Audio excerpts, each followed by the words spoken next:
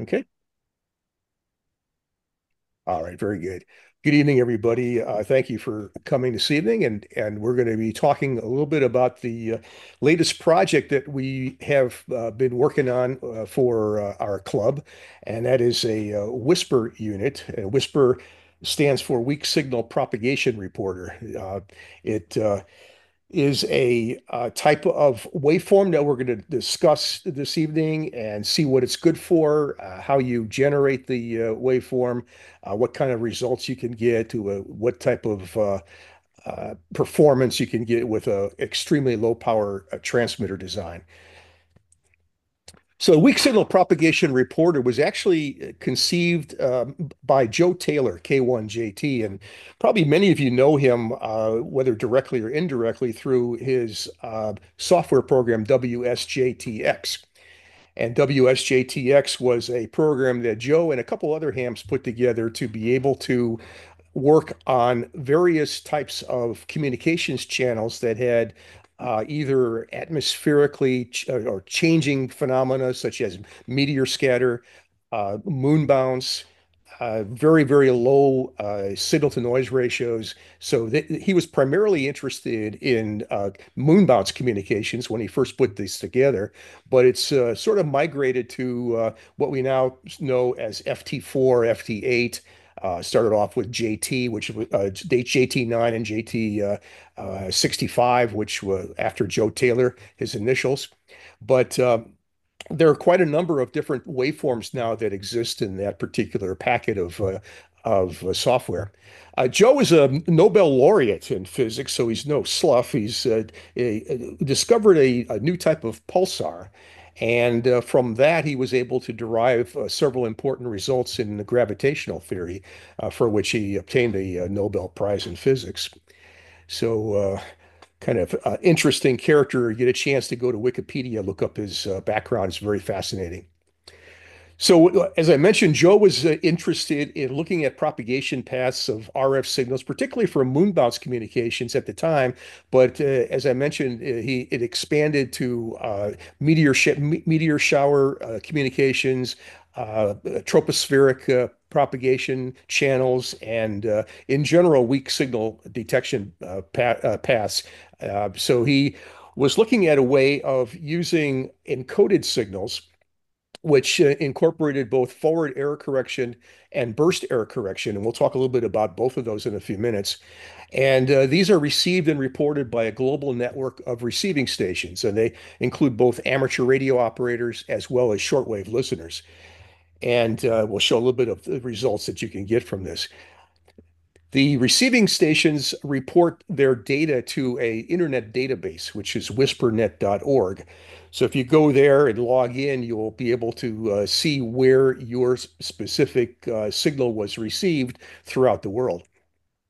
This is an example of a database uh, that uh, I, this is the first four entries of the database. You can see there are more than five, actually 5,000 plus spots here. And um, see if I can get a laser pointer somehow. Probably not. I know there's a way of doing it, but I'll, i not, not, not going to do it yet. So anyway, the um, the spot database is available to you at any given time, and you can look on that to look at certain parameters such as the time of arrival of your mm-hmm. signal. So here, this was uh, September 24th at 1450 uh, Zulu. Um, everything's in Greenwich Mean Time. You can see the call sign of the received signal. These are spots that were, for example, the first one was by KB7YVW that picked me up from uh, 3,000 kilometers away on uh, 10 meters. And uh, the next parameter is the measured frequency to one hertz resolution. Uh, the measured signal to noise ratio of my signal at their QTH uh, the drift of my signal in terms of hertz per second. Uh, WSPR is a very, very narrow band signal, as we'll see uh, looking at the spectral density of it. And drift is extremely important. So drifts on the order of a few cycles per per minute uh, are enough sometimes to throw the receiver out of whack. So you have to be very, very stable. Also see the grid square of, of the transmitting station. That's me. Well, they didn't pick this out of the air. They they actually got this from my transmission. So my call sign my grid square, and my power level, which is the next parameter, uh, are uh, Garage motion. are uh, and actually sent across the uh, air to to these receiving stations. They're, they're not derived from my signal. And finally, the reporting station, their uh, call sign, their grid square, the distance and azimuth to their location is also provided. So these are the types of reports that you get from the whisper transmissions, and uh, it gives you some feel for where your signal was uh, received, how much, uh, uh, how strong it was at that particular location, and uh, gives you a, a little better feel for what your antenna is doing, what propagation is doing. So let's talk a little bit about forward error correction. The way this works, and the, the only reason it works is because it uses the uh, ability of uh, digital communication signals to embed additional information so as to allow error correction of the received waveform uh, on the other end. It's called forward error correction because we're only looking at a forward direction. In other words, I transmit from my location, it's received at another location. You might be familiar with ACK/NACK type communications where you transmit, the other person receives you. If he doesn't receive you, he sends you back a, a message, say, hey, try, try transmitting again. You transmit again, et cetera, et cetera. Uh, this is only one directional uh, communication. So uh, if if it doesn't get decoded on the other end, it's lost and uh, not recoverable. Uh, forward correction, uh, error correction is a method of adding redundancy, as I mentioned, to digital messages so that a receiver can both detect and correct common errors in the presence of noise. Uh, a little block diagram that's common in, in communications uh, books. Uh, you have a set of, see if I can get this. yeah, there we go. So we, we have a set of K bits coming into uh, our, our transmitter input.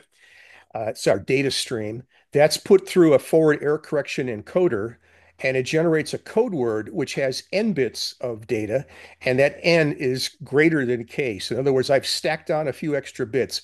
I've done it in such a way that I may have scrambled the bits a little bit on the data stream uh, to provide some redundancy. I've added some additional check bits, or uh, and we'll see later the convolutional code bits, which is what Whisper uses. But in, in any way, uh, the K bits are are merged into uh, N bits, and those N bits are then transmitted across the communications channel. Where they're received at the receiver, that code word is then put into a forward error correction decoder, and the data is extracted. Sounds very simple, but the complexity of it is coming up with the code word uh, in the first place.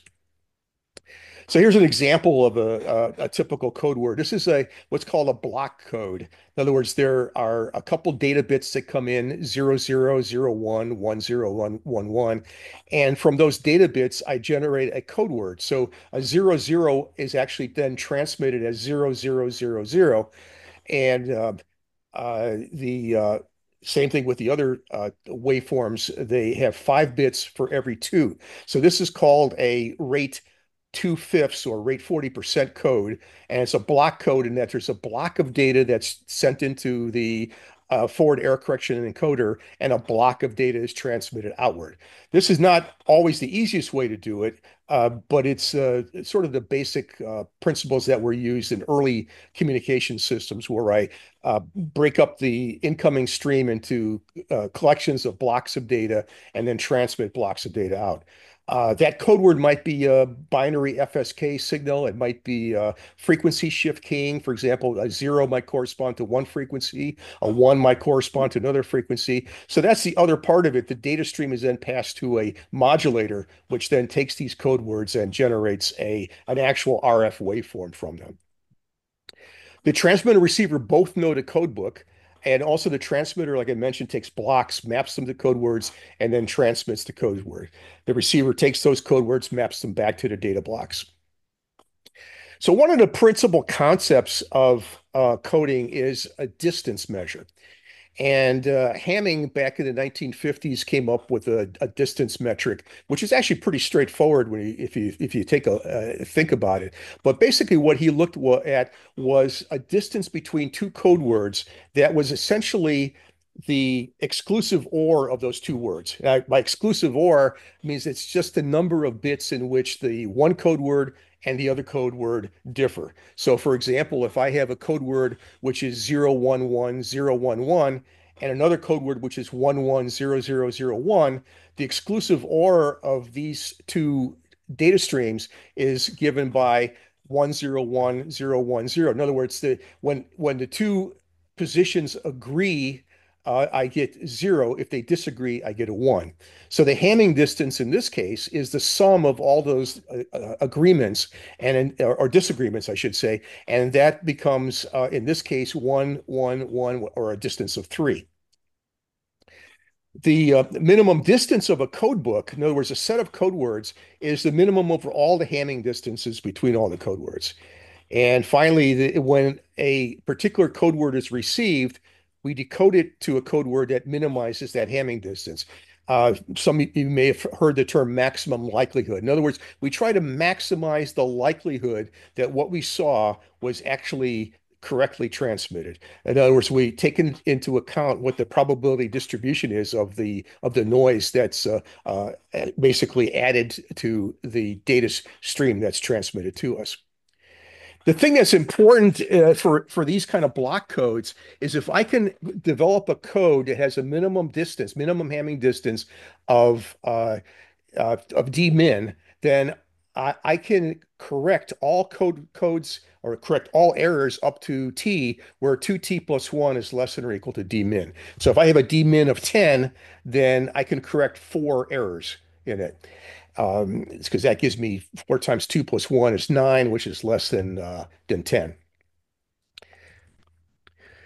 Now, to actually go into coding theory and to look at how um, block codes work and how what we'll see in a few minutes, uh, another type of coding strategy, which is called convolutional coding works, really is uh, two full semesters of, of, at a graduate level. It, it's going to take a, a, a, lot of time. This is this is the five minute version it's sort of like if you're familiar with Saturday Night Live, uh, uh, the uh, the actor that played, I forgot his name now, uh, played uh, Father Guido Sarducci. He had the uh, five minute university, and he would teach you in five minutes everything that you remember two years after you left college. So this is going to be my five minute course on error correction coding. The, the most important thing that happened with error correction coding and what Joe Taylor is taking advantage of in his WSJT-X software is a fundamental result of Claude Shannon back in about 1948, 1949. What Claude Shannon did was he looked at what happens when I transmit a code word and I have noise that's surrounding it. So, for example, when a code word is transmitted, there's some finite probability that the received message will be an error, right? From atmospheric noise, thermal noise, maybe some distortion, uh, incorrect timing on the decoder, uh, all kinds of parameters could come in there and, and cause an error. And if you think of a code word as a point in n-dimensional space, remember there are n bits in the code word that's transmitted. So that corresponds to an n-dimensional uh, set of parameters. Uh, XYZ is a three dimensional space. But if I look at those code words that I had before, which have six different uh, uh, ones and zeros in them, I can look at that as an n dimensional space. And I consider all the neighboring code words that have some Hamming distance d or less from this code word. These form sort of a sphere, if you wish, in, in n dimensional space. The, the concept that Shannon had was uh, he said, look, if I have a, a transmitted data stream and I look at the sphere of code words around it that are some Hamming distance d or less from it. If as long as my errors are less than that d value, I should be able to decode what's going on. And and what he did was he looked at all the code words that are neighboring to this code word and uh, like i said generated a sphere around this so everything that's inside this sphere has hamming distance d or less now, here's an example, a specific example. This is uh, a eight-dimensional space, 10100, is the code word, and these are the neighboring code words at a Hamming distance of one. So think of this uh, code word here as being this 101001 code word, and all these other dots are these additional points here, which are Hamming distance one or so away. Uh, there are a few more here, so this might be Hamming distance two or so away. So the, the concept that that uh, Shannon had, and Shannon was a mathematician, uh, so he looked at this from a mathematical perspective. You want to pack as many of these spheres as you can into the n-dimensional space. So if you have a certain sphere of radius d, that means that you should be able to correct all the errors that are d or less from that particular code word. So think about packing all these d radius spheres into the n-dimensional space and see how many of those you can cram in there. Um, each sphere corresponds to a unique data word. So here's an example of a two-dimensional space. Here are some euros here that that are just all packed together, and this is a two-dimensional uh, idea where the code word here is the center of one of these uh, coins, and the space around it is the error that might exist from the location of that coin. Here's a three-dimensional space with a bunch of cannonballs. So each cannonball might represent a code word. So a code word in three-dimensional space might be a 101 that corresponds to this particular cannonball. Uh, 001 corresponds to another one, et cetera, et cetera. So uh, there, there are three dimensions that pack all these spheres together. So the, the if I can pack Q of these spheres into this n-dimensional space, then I have a code that has uh, Q data words, or in the number of bits, it's log base two of Q. So if I, for example, if I have eight code words that I can pack into my, my n-dimensional space, then I can transmit three bits of information. And the dimensionality of space is n. So the rate of this code is log Q over n. Now, so th that concept is if if these spheres get too close together, then it's going to be impossible to determine what R is here. For example, if if S1 is one code word and S2 is another code word, and they are not packed tightly but start overlapping, then there's a region here where I have no idea what actually got transmitted.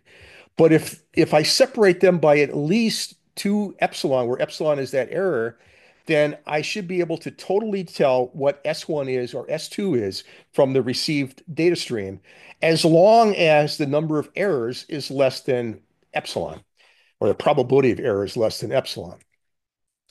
So what Shannon showed, which was uh, an unbelievable result for 1948.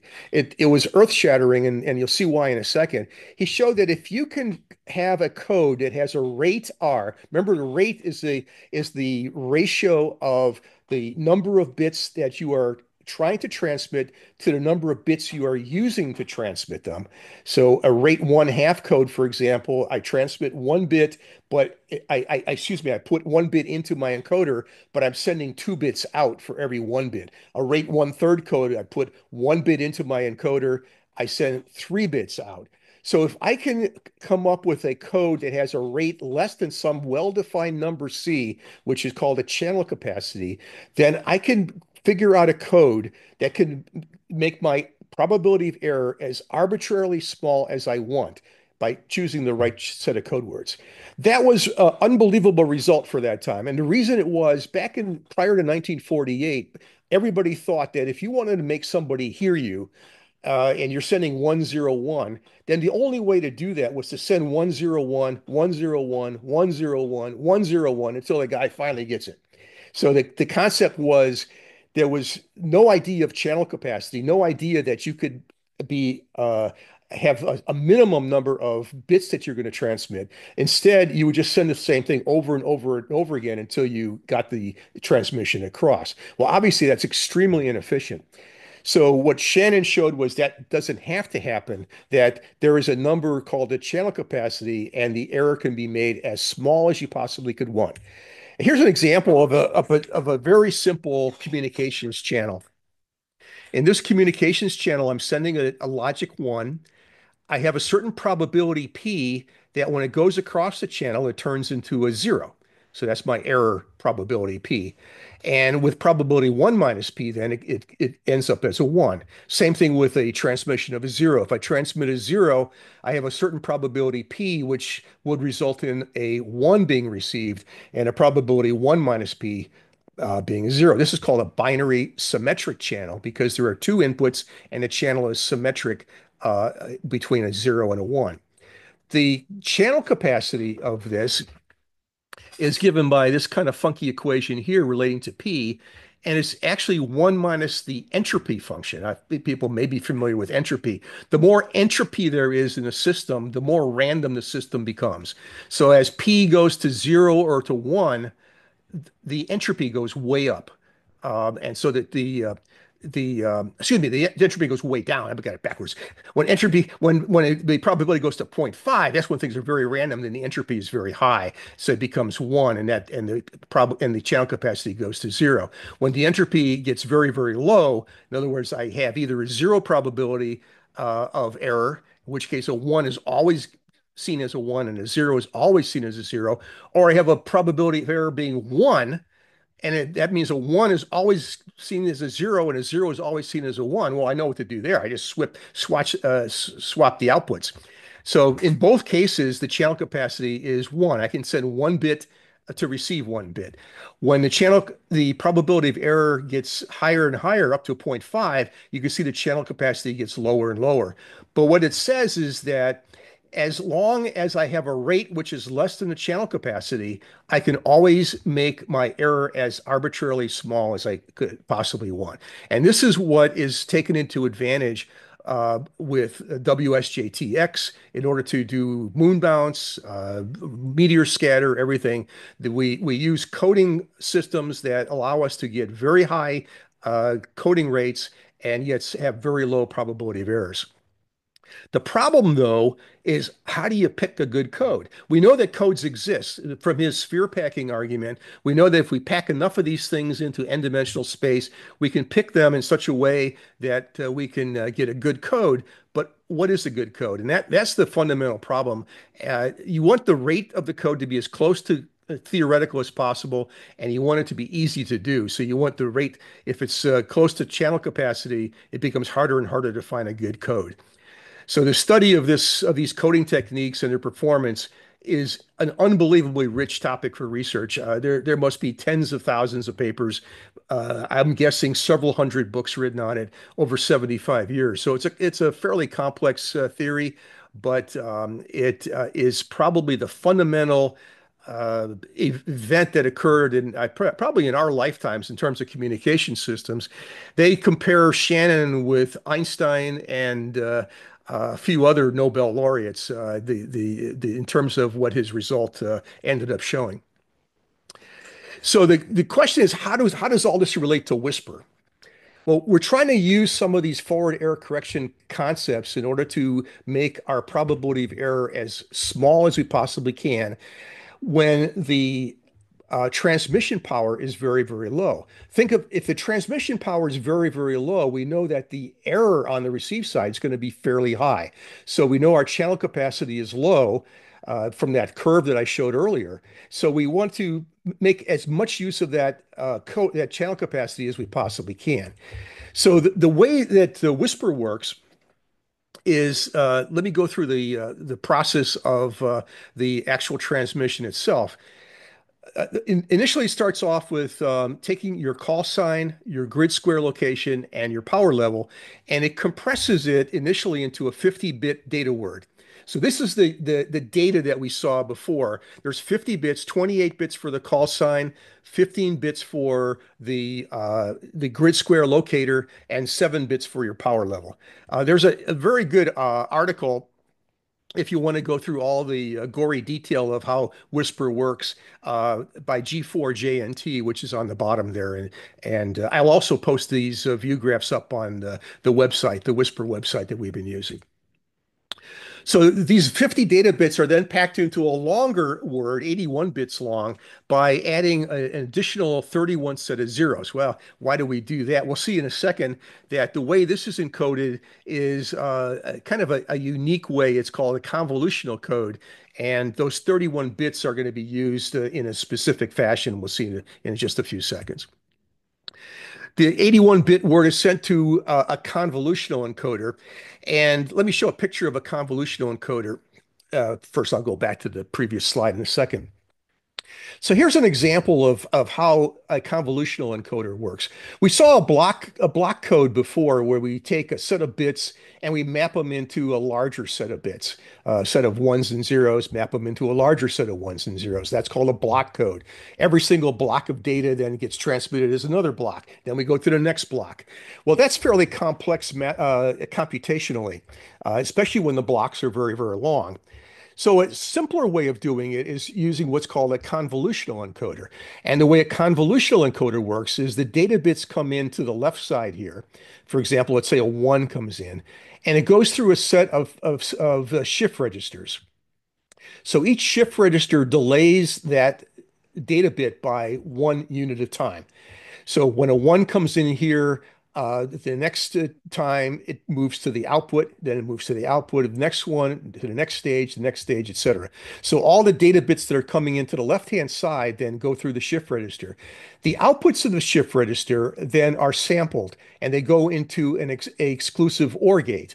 And those are sent out as uh, the code word, so or a code symbol. So, for example, if a, a one is present here and a one is present here, then the one plus one gives me a zero because it's, it's exclusive OR. And on this side, I get a one with nothing else, and I get a one here. So a zero and a one would be transmitted out. So for every bit that comes in, it gets shifted to the right, and then two symbols are transmitted for every one. So this is a rate one half code. And uh, as the data goes through the shift register, uh, the code symbols C0 and C1 alternate back and forth and generate the uh, code sequence. So this is a very computationally simple way of doing it. The analysis of these shift registers are very, very complex. It has to do with polynomials and and fields of polynomials and things of that nature. But the mathematics shows that you can essentially get the performance of block codes by not separating the data into blocks, individual blocks, but by passing them through a sequence of registers, which are much easier to implement uh, both mathematically and also physically. If I go back to the previous uh, slide, so in, in the convolutional encoder for Whisper, the length of that sequence was 31 bits long. So uh, they have 31 bit shift registers in Whisper, and uh, I, they are they're set of two of them. So each one sends a, a data bit out every time a bit gets shifted to the right. So this is also a rate one half code. The constraint length is equal to the number of shift registers plus one. So this is a called a convolutional encoder of constraint length 32 and rate one half. And the taps are chosen in such a way as to generate the code words which are far apart from each other. Remember when we talked about that sphere packing thing, you have all these spheres close together. If the sphere is bigger and bigger and bigger, depending on how much noise you get. So a, a large noise environment has these very large spheres and you can only pack so many of them in there. So that means your rate has to come down. So the, the concept is you want to pick code words in such a way that they are as far apart from each other in n-dimensional space as you can get so that if you do make some errors or several errors in a row, that they can be corrected. And that's the concept between behind both the block codes and the convolutional uh, codes. So the whisper transmitter uses the convolutional approach since it's much easier computationally to do. So uh, again, the constraint length is equal to the number of shift registers plus one, and the rate of the code is just the number of incoming bits divided by the number of outgoing bits. So now we've got all these, and I should point out that remember this is 30, it's not nine in this case, but it's 30, 31 or 32. So there are 31 shift registers in the in the case of Whisper. So remember that number 31 where I had 31 zeros added to the uh, data stream. Those 31 zeros are used to basically flush out the shift register. So those those 50 some bits that I had that encoded my call sign, my grid square, and my uh, power level, then are tacked on additional uh, 32 bits that are 31 bits that shift through the registers and flush out the register. So the next time I transmit, it's all fresh and ready to go. The uh, remember this is a rate two code. So there were 81 bits trans uh, that were entered into the shift register. And there are two bits for every one bit that came in. So there are going to be 162 now that come out uh, of the encoder. Now, what Whisper also does is takes those 162 bits and doesn't just use them, it actually does a scrambling on them. Now, you said, well, why the heck would they do that? It's, it's complicated enough. Well, the reason for scrambling is uh, Joe Taylor was very concerned about burst noises that exist. Uh, in meteor scatter, that's a commonplace phenomena. Uh, and in any kind of low signal to noise ratio conditions, burst errors are uh, very, very problematic. So what he did was he developed this so that the 162 bits are scrambled so that they're spread out in time. So if I get a burst error at the beginning of my code word, then it's going to be able to be reconstructed by some data that's at the end of the code word because that has some information because of the scrambling of what took place earlier. So in other words, I use that scrambling mechanism to add some memory to the data stream so that if I do end up, you know, bleeping out a few bits in a row, the other bits further down this down the pike can be used to reconstruct them. So that gives us an additional error correction capability that is well and above beyond the uh, the convolutional coding as uh, that we had earlier. So finally, now we've got these 162 scrambled data bits. And what he does is, in or how do you synchronize to that? Well, you can't, right? Because it's all random right now. Uh, we don't know what the data is going to come going to come in. For example, W2LNX has a different call sign than AK3Y. So the data bits that are going to be generated by his whisper encoder are going to be totally different than mine. So there's nothing that you can get from that to synchronize to. So what he does is he takes a synchronization uh, data stream, 162 bits long, that has very, very strong correlation properties. In other words, uh, if I do a correlation on those bits, I get a very large peak, which will tell me where the data stream starts or finishes. Um, basically, they're using a pseudo-random code, if people may have heard that term before. So he takes the 162 data, the scrambled data bits, puts 162-bit uh, synchronization code on it, and then transmits it out. Well, how does he transmit the bits? Well, the way he does it is he constructs uh, a, another data stream. this this is not simple, as you can see. It's uh, it's amazing that he came up with this, but he takes the the synchronization scheme that that that we had. In other words, the sync uh, uh, pseudo-random code, and he takes two times the data stream. So he doesn't just add them together, but he takes two times that data. So he ends up with four possible output values, zero, one, two, or three, depending upon what the data is and what the sync symbol was. So if sync was zero and data was one, I transmitted two. If sync was uh, one and data was zero, I would transmit one plus two times zero, I transmit a one, et cetera, et cetera. There are four possible values for that. So now what do you do?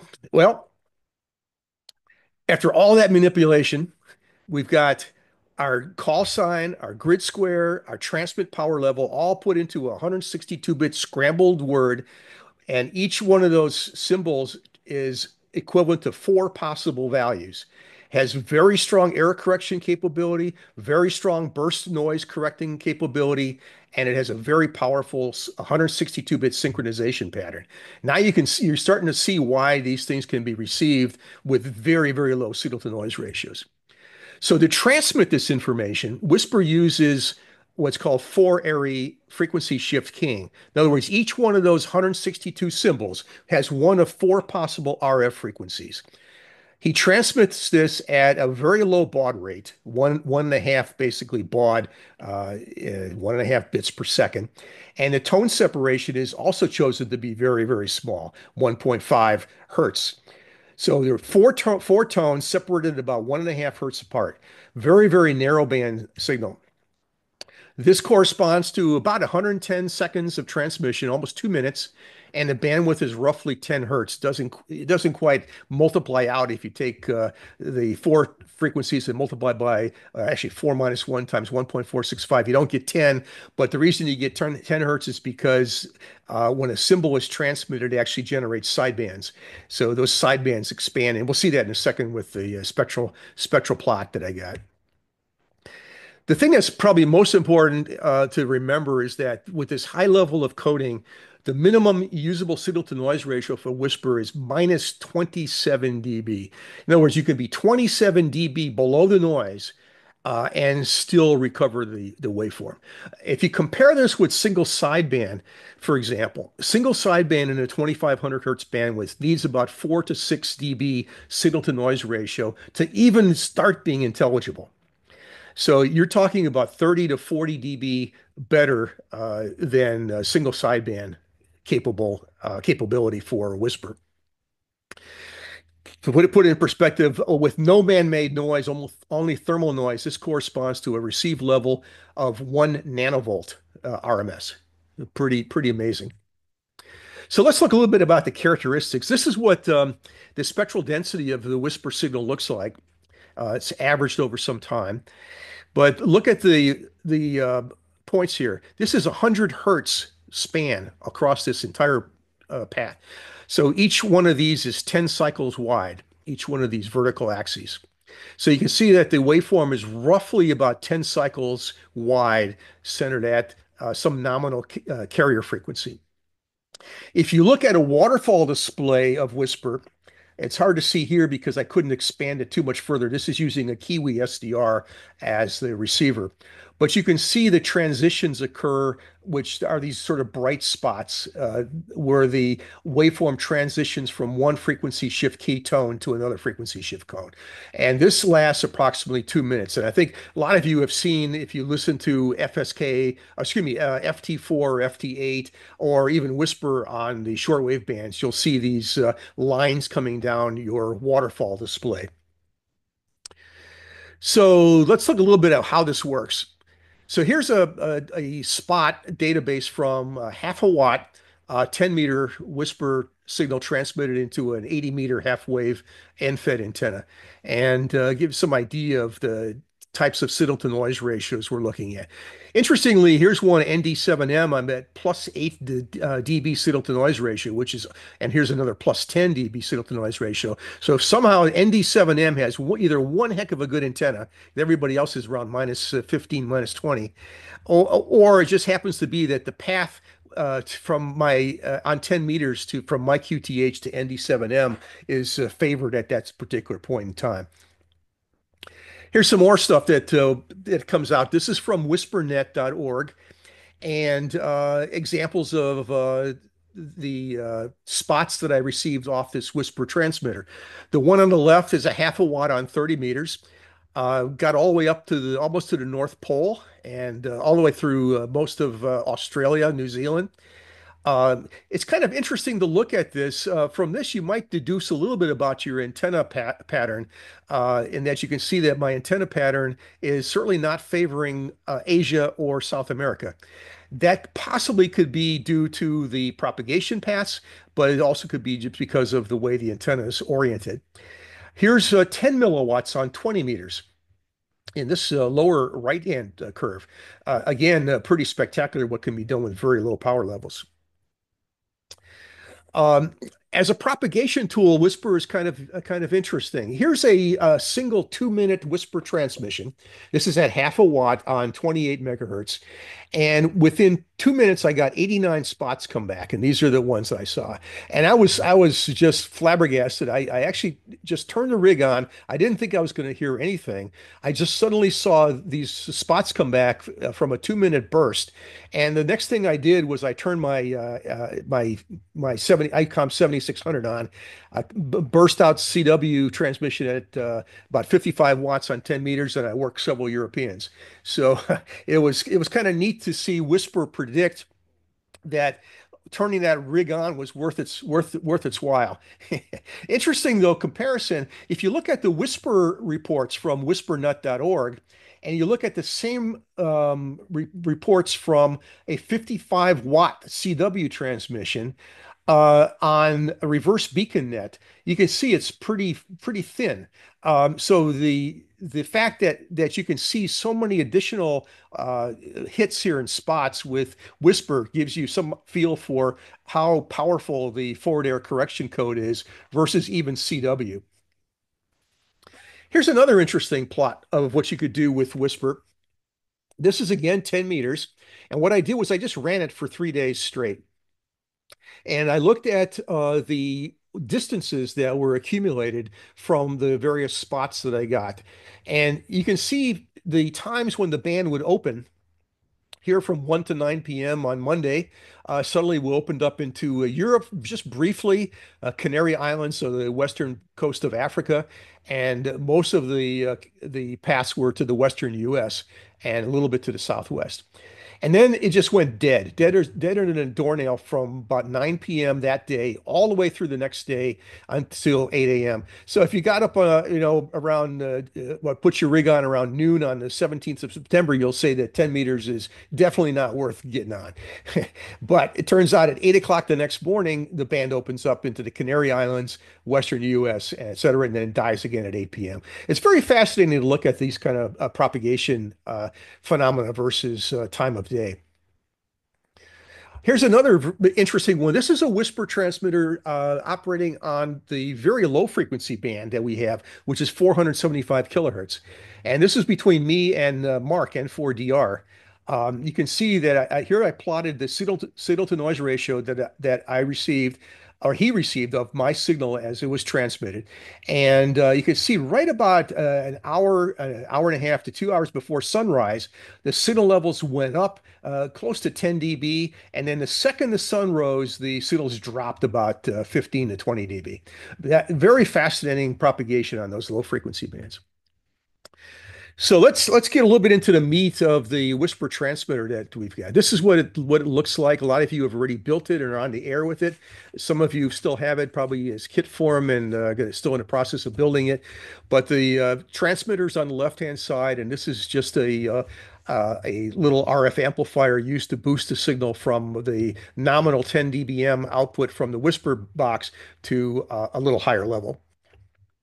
So the way the whisper transmitter works is that there is a ESP8266 microcontroller, a uh, little power conditioning coming off of uh, a, a 5 volt regulator, uh, the synthesizer chip is uh, run with an external temperature controlled crystal oscillator. What I found was that the onboard 25 megahertz crystal was not adequately stable enough to be able to uh, use the whisper rig above 20 meters. So what I did was I removed that crystal and uh, replaced it with a temperature compensated oscillator. That made all the difference in the world, and now it's stable all the way up, probably in through the VHF range. The problem with the synthesizer is that it comes out as a square wave. So the next thing we have to do is we've got to get rid of the third harmonic, the fifth harmonic, the seventh harmonic, which is typical of square wave signals, and put it through a low pass filter. That goes into the RF amplifier. You typically through an attenuator pad, since the RF amplifier has lots and lots of gain. Um, it's talked about in the uh, manual, and that comes out to the uh, antenna. So let's look a little bit at the software. Uh, the, the, the way this works is that the uh, microcontroller and synthesizer modules are initially are initialized at the beginning. The uh, transmitter or the, the microcontroller uh, wakes up the uh, internet and sends a packet of data to a local time server. In this case, we're using the National Bureau of Standards or NIST uh, time time server.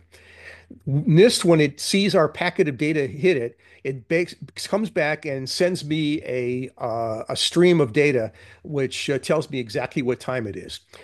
And from that, I take that information and put my call sign, grid, and power level uh, into the uh, uh, format that's needed for the Whisper uh, convolutional encoder. And that's all done in, in software as well. So if I connect to the Wi-Fi, I, I contact the time server, get the uh, universal time. If a valid reply is received, I wait for the next even time slot because Whiskers WSPR is sent every uh, even minute, um, and uh, or every other minute, I should say. And at the start of the even time slot, the whisker whisper data, whisker, I'll get it. Whisper data data is uh, cycled through, and for each symbol, I determine which of the four tones to transmit, steer the uh, synthesizer, and then send that data out.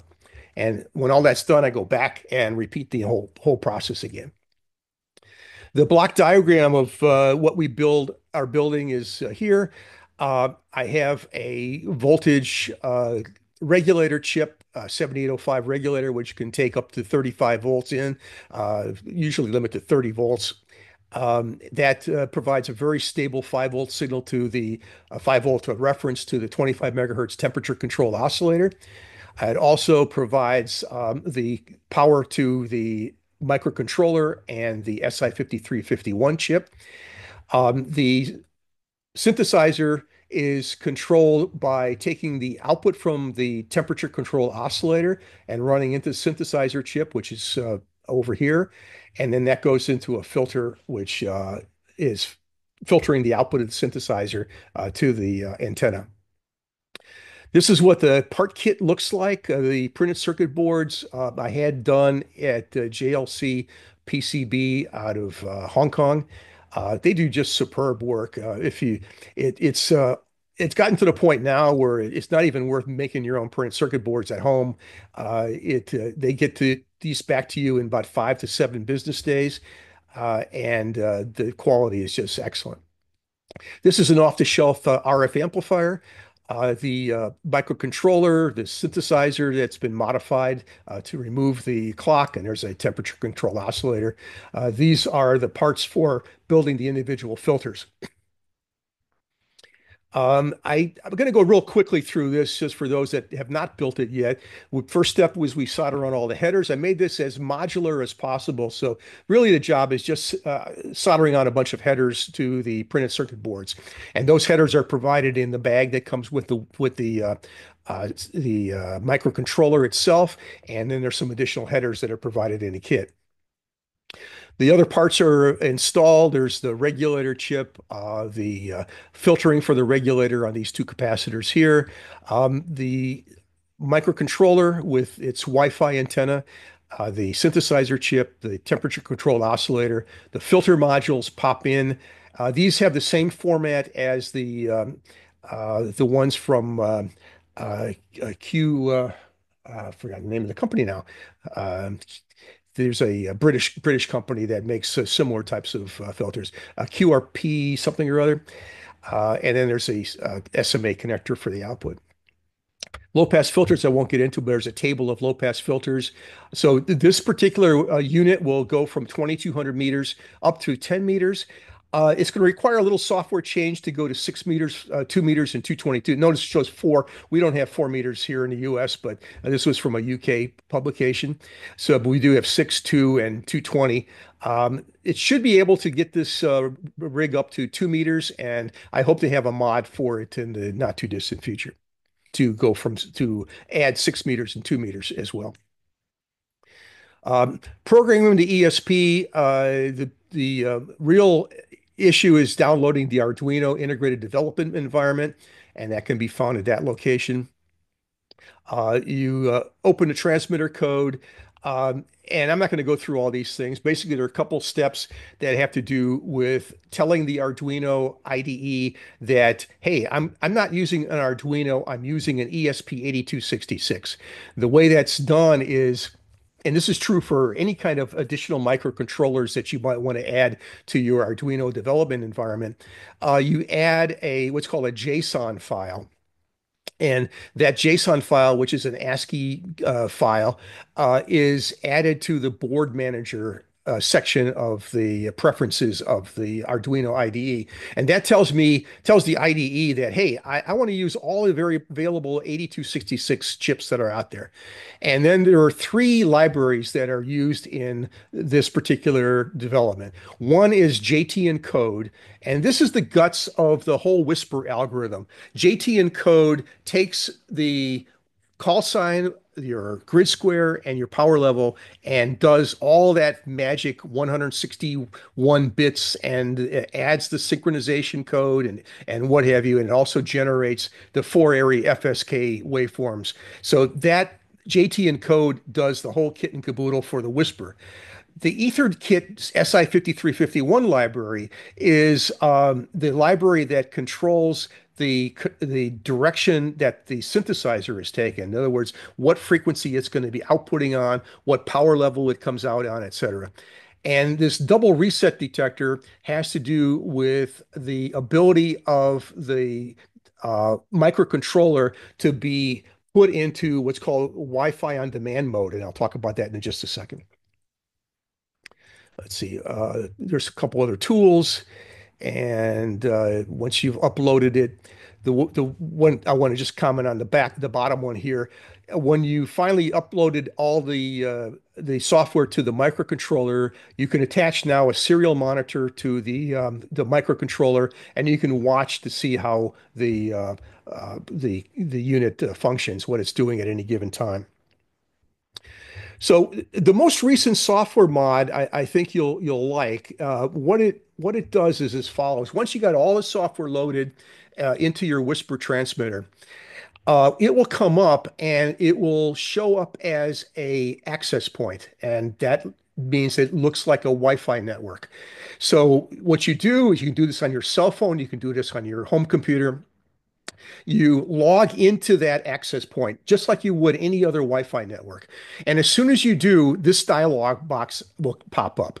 It will show you um, the um, available Wi-Fi networks that exist. And uh, excuse me, I, am I'm jumping one one ahead. This is this is the what comes up um, on your cell phone, for example, uh, to log into that network. I'm sorry, I, I, jumped one step ahead. This is what comes up once you've logged into that network. So when I log into the Whisper setup network, um, a Wi-Fi manager pops up the Wi-Fi manager allows me to configure my Wi-Fi. And when I click on configure Wi-Fi, I end up with, excuse me, another dialog box. And, and this dialog box shows me the existing set of Wi-Fi networks in my environment. From there, I can choose which one I'd like to operate on. So here's my Rabaton VZ. then I'm I send put the password in.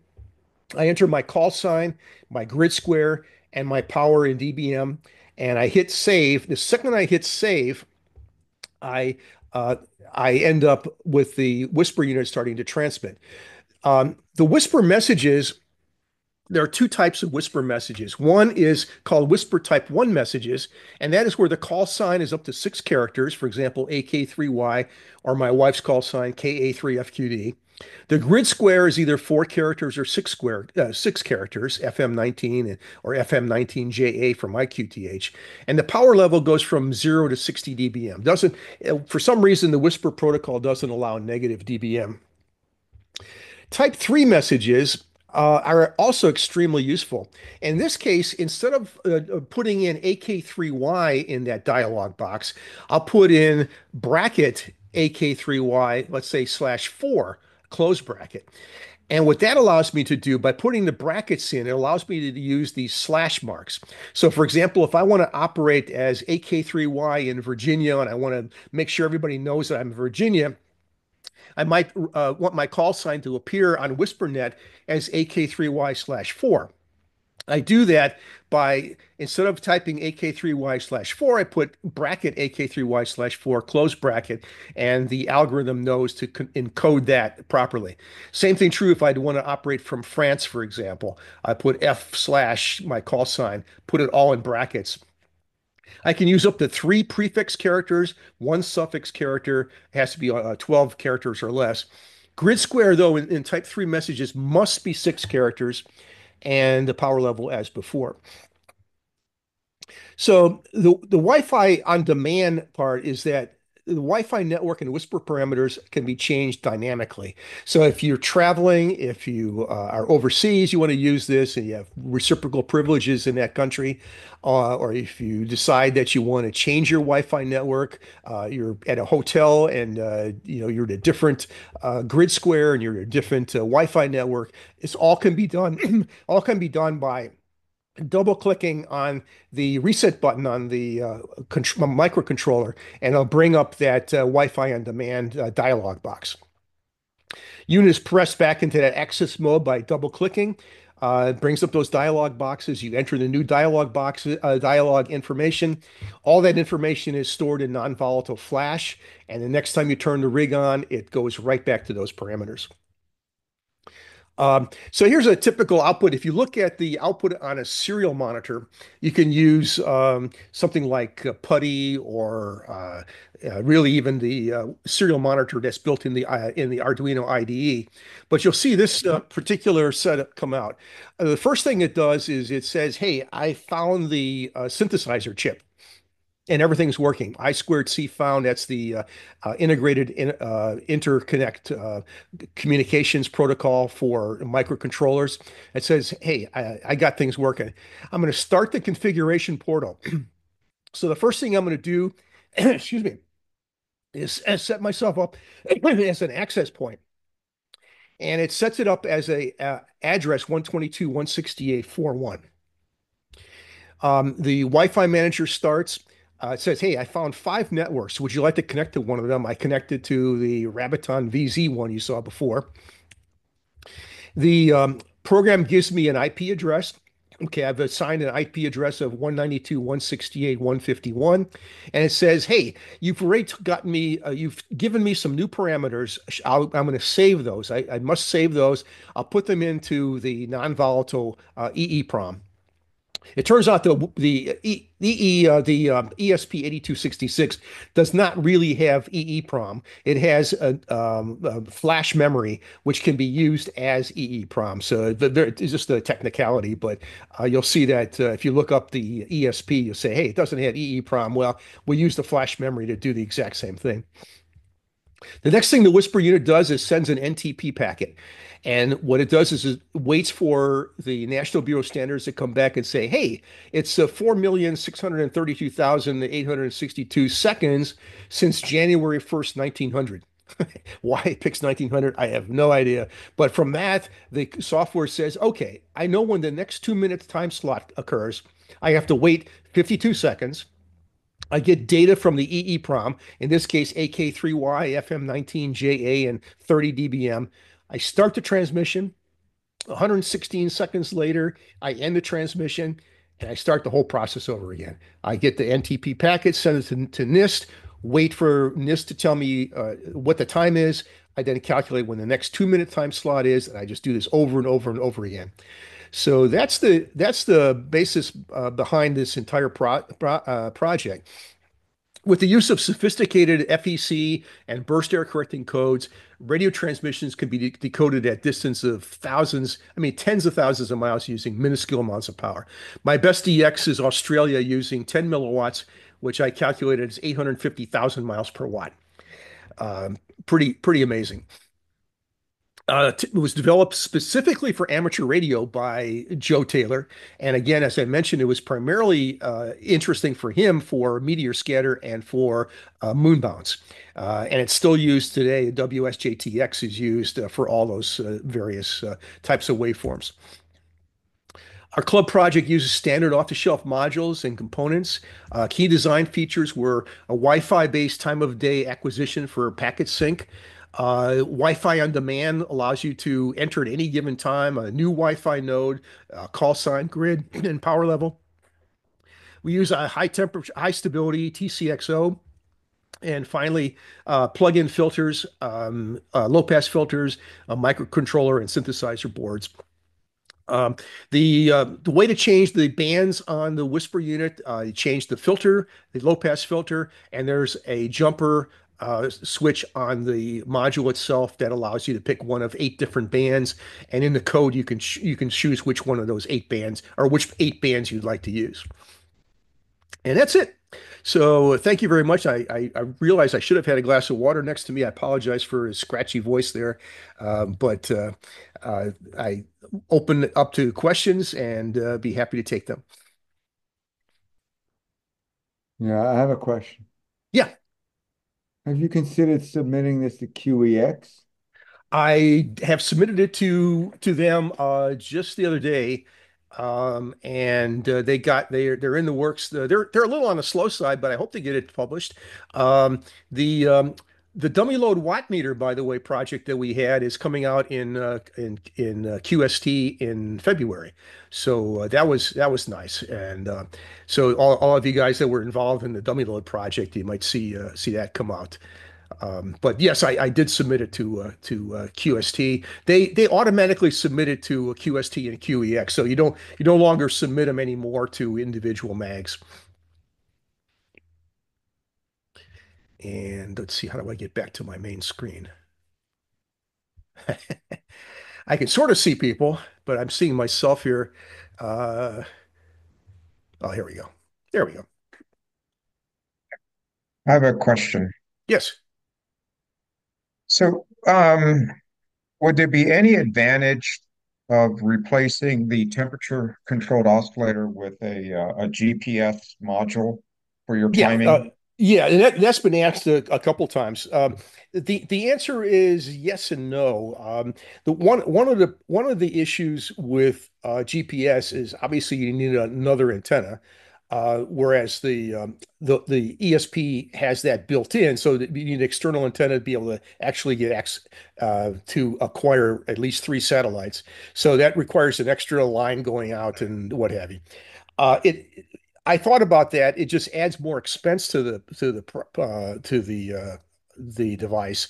Um, I think what I'd like to do in the in the future is have that as an option. So what my thought was, um, the next version of this would be to uh, uh, put a switch on there that allows you to, uh, instead of using a TCXO, uh, run it off the 10 megahertz. The, the, problem with doing that um, is the is is the following that the SI 5351 um, synthesizer chip comes in three different flavors. There's an SI 5351A, B, and C. The A uh, can only run on a 25 megahertz or 27, I think it's 27 megahertz clock. And uh, you can run a TCXO into it by by essentially uh, ripping off the 25 megahertz clock. The SI5351C will allow an external port entry for like a 10 megahertz reference. So you could reference um, that with uh, a GPS oscillator, you know, uh, um, GPS derived oscillator. Um, hmm and uh, so that would basically solve part of the problem. You still need to extract the, the GPS, excuse me, the GPS timing information as well as the 10 megahertz clock. But in order to do that, I, I would have to essentially build a, a SMD, a new SMD board, which hmm has the SI5351C in, in in lieu of the the 50 the 5351A chip. I thought it, it, the the SI5351A chip was like a dollar thirty. And so so stripping off the uh, the the five cent 25 megahertz crystal and replacing that with roughly about an eight or nine dollar TCXO was still a lot less expensive, total about 10 bucks versus for those two parts versus uh, running a, a separate GPS, and, you know, receiver and antenna. Okay, thanks. Long-winded answer, but the, the you know they're the ones that that do use uh, GPS, um, they're significantly more expensive. Uh, I've seen several offered for sale. Um, they they they were um, uh, in the 75 to 100 dollar range. Wow. Okay. I've I've I've seen them. I don't know how good they are, but they're like twenty dollars or something like that. But I don't know if they're if they're worth that much Yeah, some of so them, some of them are pretty much garbage, unfortunately. Uh, the ones that I've seen that are good are, are, you know, you, you get what you pay for, you know, is the sort of the moral of the story. But um, yeah, I've I've heard some some complaints about some of the cheap GPS units. They don't work at some of the higher frequencies. Say, the same problem that I had with the uh, with the SI 5351 using the internal oscillator. Um, it, it does it for some reason the stability wasn't there. And I'm not sure why that's the case. Um, but uh, I'd love to see if what, whichever one you had, it'd be interesting to test it out and see how it how it does. But Yeah, it, it it was off of Amazon, and I I just I hadn't really researched it. I wanted to get a reference clock for my frequency counter, yep. and uh, and uh, I um I still haven't purchased any uh, any GPS reference, but I understand they're very stable when you get a good one. Oh yeah, yeah, they're extremely extremely good. Um, I use uh, GPS uh, derived uh, uh, clocks for all my test equipment, and uh, I get basically accuracies down to a thousandth of a hertz. Yeah. So, Yeah. and, and the time measurements are down into the tens of picoseconds. Yeah. One, one other quick question. Um, does Whisper have to work as a dedicated radio or transceiver where it's controlled by the program, where it will be a receiver for a while and then it'd be a transmitter for a while? No, this one is a pure transmitter. Uh, th there's no receiver involved in this. Uh, I, I, I may have misunderstood your question. That there there is uh, certainly a receiver uh, in in terms of a distributed network of receivers that are used to uh, detect and decode your transmission and then uploading that via the internet to whispernet.org. But in terms of, you know, if you wanted to just use this and see what the propagation paths are, it's all one one direction. You know, you could just have a single transmitter. Okay. I, I, I, misunderstood that. Yeah, yeah, that's, that makes more sense because I understand. My thought was is that you basically had a dedicated transceiver for Whisper, but that's only to be part of the network Yeah. for, Yeah, yeah. exactly. Yeah. So, so for example, uh, I have an ICOM 7600 HF rig, and uh, if I uh, use WSJT-X to uh, talk to it, um, I basically can transmit a whisper transmission from my ICOM, and I can also receive it and upload to the whispernet.org through the WSJT-X interface. So WSJT-X is bidirectional. You know, you, you can both Mhm. transmit and receive. Whereas the Whisper unit that we're building uh, for the club is sort of a one-hand clapping thing. You know, it's it, it's only one way. It's it's a transmit only device, and your Mhm. receiver is everybody else in the world. You can uh, Oh, okay. you know, you you can. Uh, what I've also done is I've hooked up into the Kiwi SDR network. I don't know if you're familiar with that. Um, if you do a search on Kiwi SDR receivers, you'll find a network of about eight or nine hundred uh, receivers all throughout the world that you can uh, log into and control just as if it was sitting on your desk as a re as a receiver. And uh, it, it's a really nice way. Well, a couple of nice things about it. Let's say you want to practice your uh, your German. You can log into a German uh, you know station uh, on on the broadcast band and listen listen to it right from Germany. If you want to see whether your QRP rig is making it to Ohio, you can find the Kiwi SDR in the Ohio area look for your transmission at that frequency and and see how well you're doing. Uh, In fact, when I built um, uh, this little tuna tin S unit that I that I did in, a few years back, my very first uh, uh, transmission was being received on a Kiwi SDR, and I was uh, shocked that I I got a guy in the uh, Caribbean that was hearing me, and I was hearing him on a Kiwi SDR that was in Ohio. So, uh, Mhm. But that's a, that's another nice way of checking to see what propagation is and how well your system is working. But the uh, the whispernet.org uh, network will give you a very detailed analysis of what your signal strengths are uh, versus time versus band, and and uh, Mhm. it's it's great for assessing the performance of a particular HF link. Yeah, yeah, no, I, I, um, when I, when I built my, uh, uh, 40 meter half wave end-fed antenna, I used FT8 to see how well I was getting out. Sure, sure.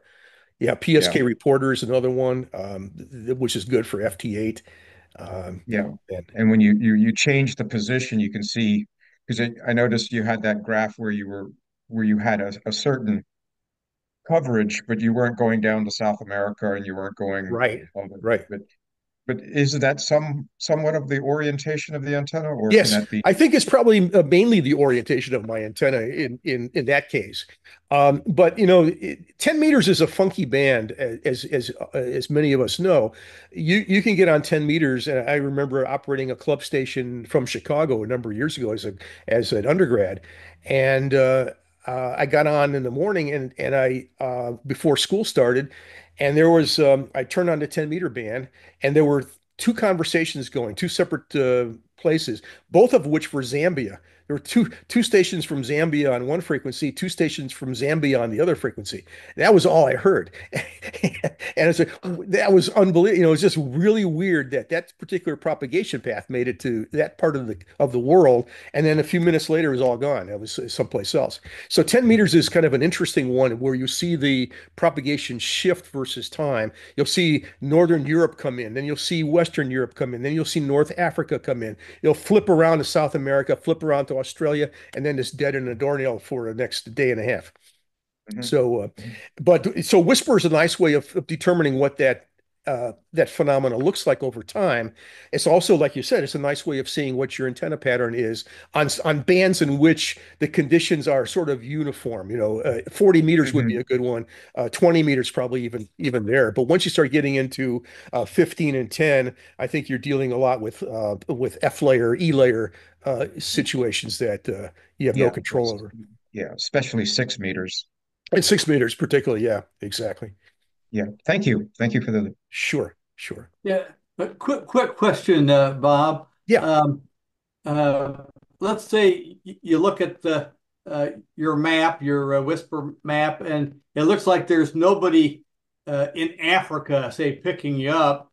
Could it just be that there's there aren't any Whisper receiving stations throughout most of Africa?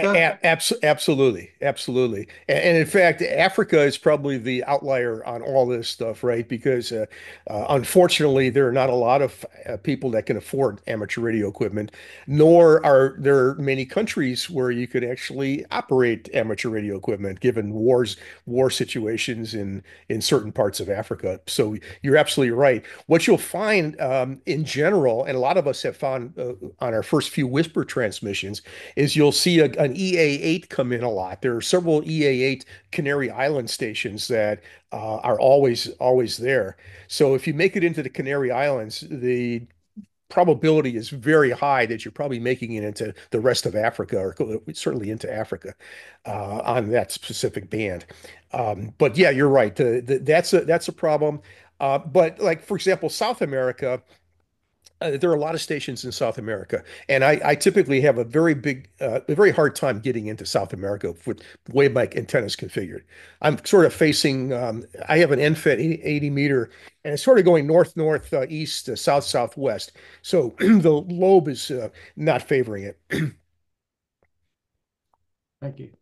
Question, Bob, about um, the websites you mentioned at the beginning of the Yeah, presentation. right. Since I'm a latecomer, uh, can you give me some more information or the site names? Sure, sure. What what I did was I I have everything uploaded, um, all the manuals, uh, all the uh, the design files and everything's uploaded to my name was just robertfontana.com. I, was- I was trying to get AK3. I have AK3Y.com, but for some reason I can't directly get that. So it's robertfontana.com slash AK3Y in caps slash whisper. It's uh, all caps W S P R slash whisper all caps dot HTML. So it's robertfontana.com slash AK3Y, all caps, slash whisper, all caps, slash whisper dot HTML where whisper is all caps and dot .html is lowercase. And if you go there, you'll you'll see absolutely everything. Okay, thanks for that. And when you say whisper, you want the abbreviation Yes. WSPR. Okay. Yes, WSPR. That's correct, Hank.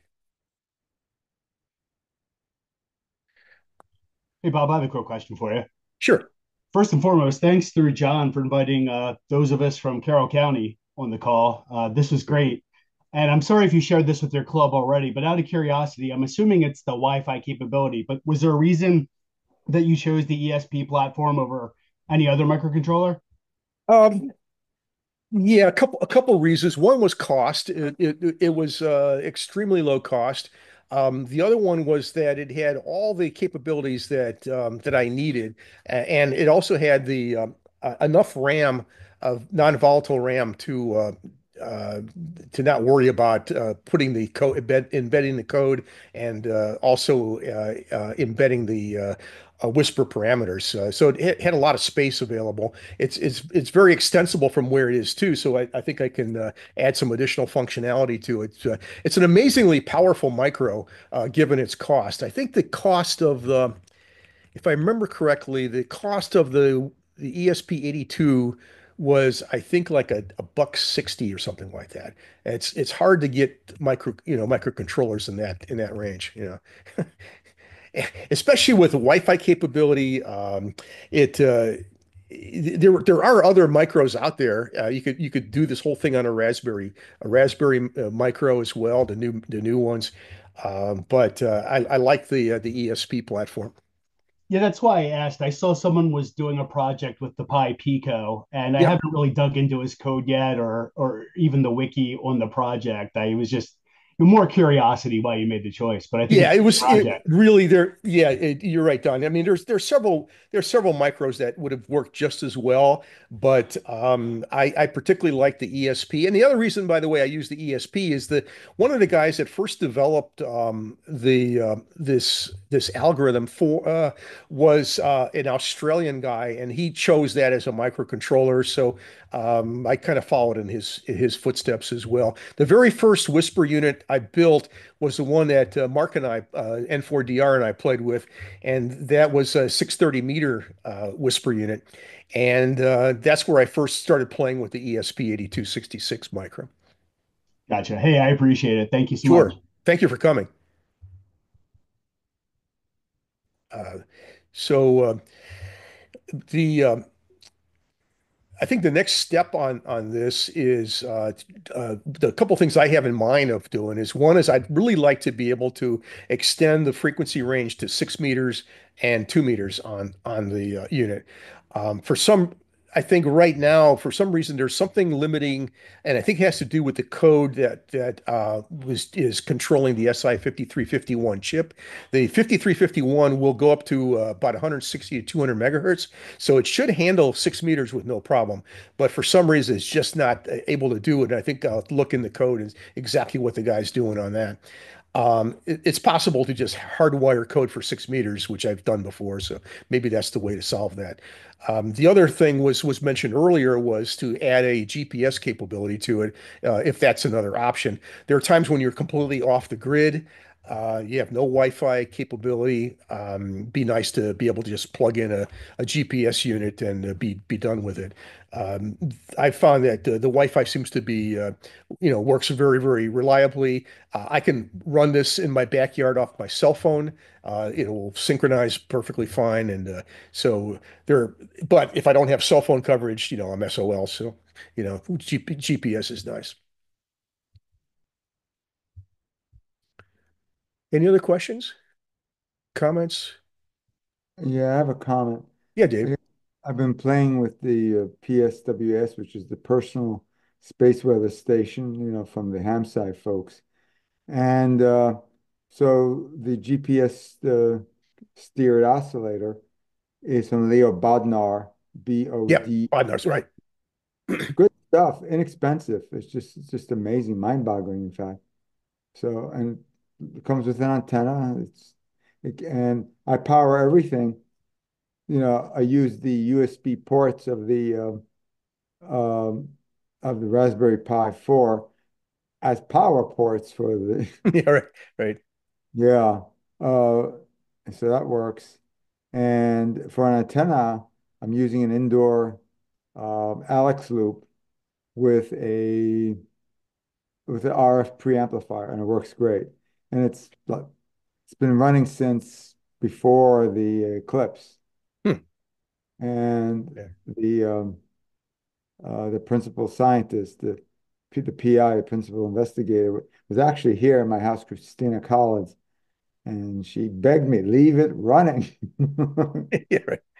So he's, you know, it's every night, it's uploading data at midnight, and it's amazing. And so it collects every second uh, the Yep. the Doppler shift of the ionosphere going up and down, and uh, and also makes pretty pictures. Oh yeah, oh yeah, yeah. Leo Bod Leo Bodnar's ha- has um, the mod the module for the uh, ICOM 9700 that um, people are using on 1296, one of the problems with the ICOM 9700, I don't know if, if, if people, uh, some some of you may have that rig, uh, which is a um, a two meter 432 and 1296 uh, transceiver. Um, on two meters and and 432, it's pretty stable for FT8 and things like that.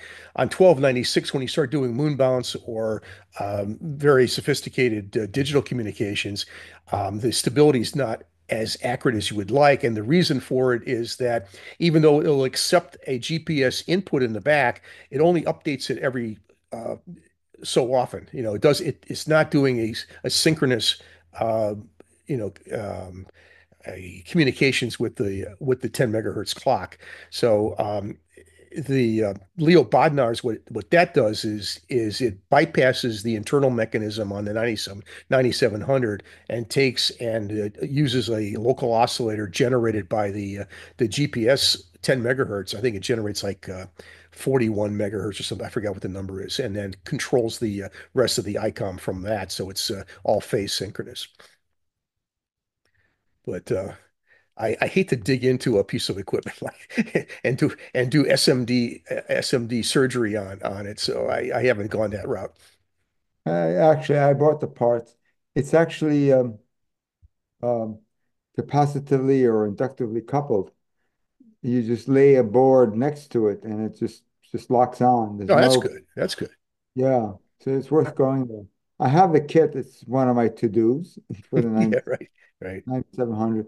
I was recommended if you're going to do whisper long distance, get that out, you know, fix fi fix that. Well, there are very, I'll tell you, Whisper on two meters, 432, or, or, or, basically those two bands. The only people that I've seen on WSPRnet that are using those frequencies are Australians. so the chances of you making it into Australia on two meters on Whisper, I, would say like 10 to the minus 35, something like that.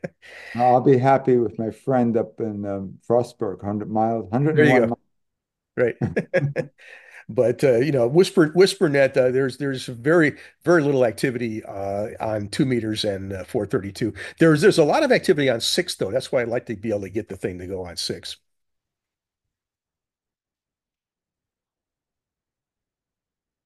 Anybody else? Any comments or questions or? I hope it's been fun for for some of you to build this thing. I, it's uh, it's certainly uh, been a lot of fun for me to uh, to uh, be able to put this together. So I'm, I'm, glad we had a chance to to do this. Like I said, it was very surprising. I I expected maybe eight people uh, that would be interested in it. And like I said, we've got 25 total that are building, so uh, that's uh, that's great. Uh, and uh, it's uh, I think uh, something I'd like to do more of. Um, if you have some comments or question or uh, ideas for another project, uh, let me know. I I'd love to get involved in that. We've had uh, this is the third one that I've been involved with. We did the uh, dual band J-pole antenna um, design uh, a while back, and then we did the dummy load watt meter design, and now this one. So those have been kind of fun projects. Okay. Thank you very much, guys. Appreciate it. Um, and I guess we have this recorded somewhere. And uh, I, what I'll do is I'll put uh, all the view graphs up on uh, that site that I mentioned to Hank. And um, and if I, uh, it might be a way of getting uh, who the attendees were, so I could send the message out. But if not, I'll just put it on the reflector and uh, and be done with it there. I think that's probably just as well. So. Okay. Okay. Thank you very much. Great. there, Thank you, guys. Thank you very much. Uh, really Thank you appreciate very it. much. Great. Hope- Thanks. uh, Bye. See you soon.